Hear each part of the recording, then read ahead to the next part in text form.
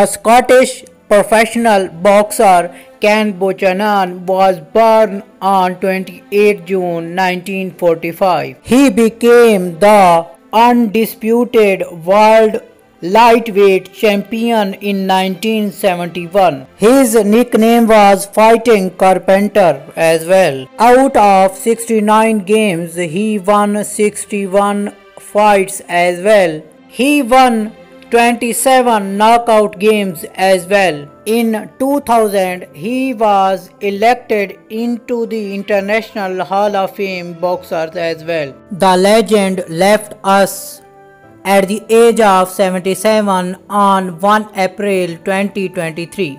Our deep condolences are with their family and their friends. For more videos, like and subscribe our channel.